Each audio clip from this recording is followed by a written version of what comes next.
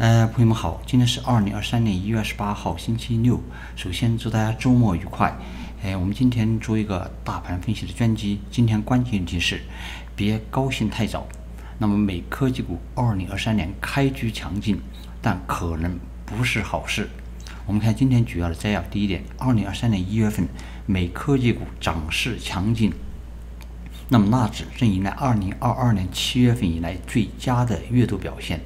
但以史为鉴，这实际上可能是一个不祥的呃信号。呃，那么值得注意的是，在二零零一年开局的强劲涨势之后，美国科技股迎来是最大幅的降温。那么纳指在当年余下的时间里暴跌了百分之二十九点七。那么第二点，原因很简单，二零零一年出现了众所周知的互联网泡沫破灭。多年来对科技发展抱的乐观态度，使股市在二零零零年到达了新高点，随后又跌至谷底。那么有分析师指出，今年的情况也是非常的类似。科技股在二零零 二零二二年从创纪录的高峰中暴跌，而这一峰值是投资者对上市科技公司发展前景乐观情绪所推动。那么去年纳指经历了有记录以来第四个表现最糟糕的年份。那么另一方面，呃，在当前科技股反弹的同时，呃，许多大型的科技公司却发出了严峻的警告。呃，科技公司还采取了裁员和其他成本削减的措施。呃，那么最著名的大家知道，Meta，嗯，那么 Google，Microsoft。嗯，还有 Amazon，实际上裁员都超过一万人。呃，不过不可否认的是，除了2001年，在此之前，纳指于某一年的第一个月录得百分之十以上的涨幅时，那么当年剩余的时间表现都是比较好的。那么在这种情况下，该指数当年剩余时间将平均上涨超过百分之十四。那么这个就是我们给大家呃截取的一个图，就是说，呃，这个这个就是一月涨幅超过百分之十的年度比较，啊，那么这个深蓝色的这个是一月份的表现，当年的涨一月份超过百分之十，这个就是百分之十。那么这个浅蓝色的就是为当年其余月份的合计表现。嗯，大家看这个地方很明显，就是二零零一年，当时这个一月份表现非常的强劲，超过百分之十。那么在其余的这个这个这个这个月份表现合计实际上接近于百分之三十下跌。嗯，所以呃科技股今年究竟何去何从？那么目前还没有办法确定。不过下个礼拜。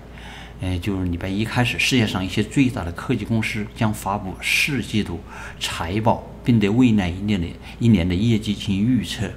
届时，科技行业的前景可能会变得更加清晰。呃，所以下个礼拜那个超级财报周应该是非常非常的关键。好了，我们很快的看一下，呃，这个纳指的情况，我们可以。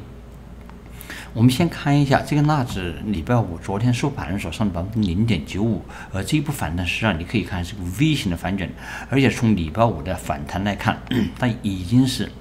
已经是过了前面这个高点，也就是十二月十二月份的这个高点，嗯，所以而且来到了黄金风险百分之五十的位置，非常非常的接近，这也是个比较重要的一个关口。我们看一下均线，呃，这个是年线，这个是半年线。这个是季线、生命线，这个是月线，那么这个是十天线，这个是五天线。呃，很明显，大家看短期的这一线，甚至半年线都已经开始走平了，拐头向上。呃，而这个年线还是拐头往下的。呃，但是呃，昨天礼拜五收盘的时候，已经已经站上了这个这个年线。呃，所以下个礼拜的财报周应该会确定，呃，这个纳斯达克综合指数。能不能站稳这个年线？这个年线的位置，你包括收盘的时候，它是一万一千五百零七点左右，呃，所以大家可以关注一下这个位置。那么同时，我们可以看 KDJ，嗯，目前这个 KDJ 的位置，K 的值大概在九十一，超过九十一了。呃，大家可以往前看，实际上历史上就是在 我们看一下，这个就是八月份那幅高点反弹的时候，呃，来到了同样的位置，呃，最后掉下来。所以你从这个 K D J 指标来看，目前这个位置是严重的超买。嗯，当然我们以前也讲过，大也可以钝化，就类似这个地方，它不是说一到这个位置马上就掉下来，它实际上中间钝化了一个礼拜的时间。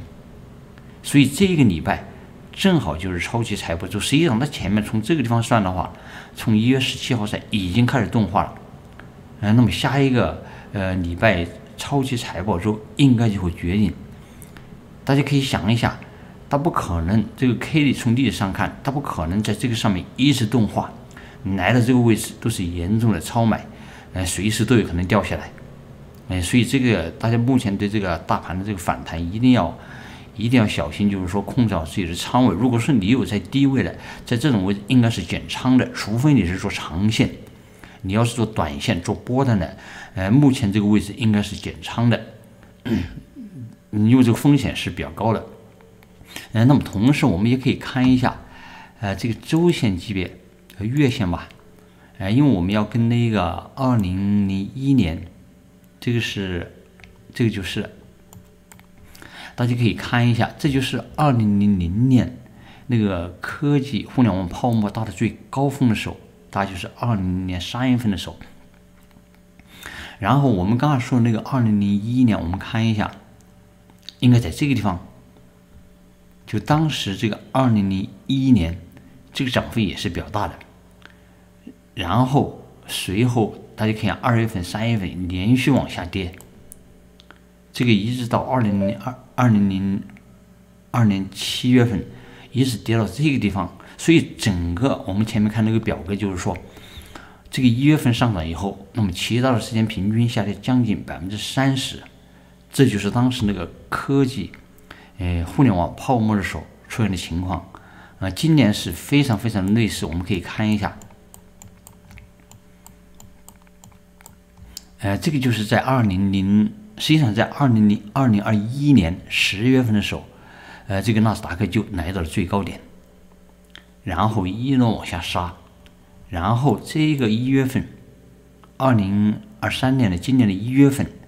这个涨幅是非常非常的强劲，嗯，那么我们说它会不会跟那个类似的，